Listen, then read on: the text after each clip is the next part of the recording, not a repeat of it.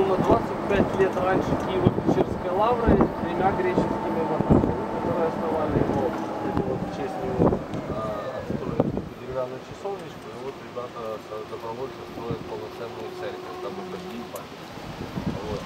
Значит, э, основан был изначально Москву, потом он был Женский, потом он был опять Москвы, уже тут клуба казаческим.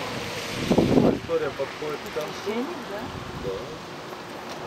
Его э, работа будет, ну, история в 1934 году, когда по указу Компартии его